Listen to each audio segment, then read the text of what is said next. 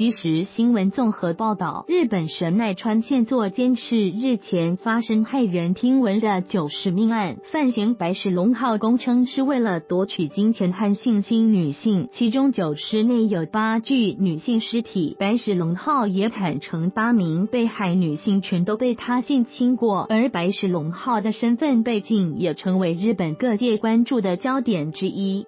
根据日本朝日新闻报道，和白石龙号熟识的朋友指称，白石龙号之前都在东京新宿的歌舞伎町附近招揽女性从事色情行业，包括公关俱乐部或风俗店等。而一名在歌舞伎町附近工作的四十七岁女性表示，常常会在早上九点左右看到白石龙号，每次都一脸刚睡醒的样子，态度平常的打招呼，是很普通的人。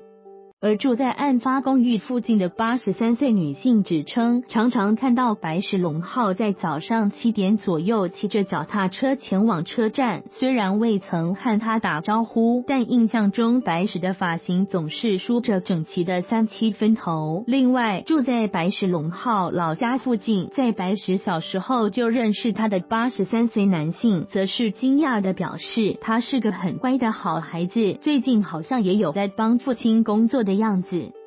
白石龙号的小学同学表示，白石在小学的时候不是太突出的人，但也不是个阴沉的人，也有他笑脸迎人的印象。听闻他犯下如此恶行时，十分惊讶。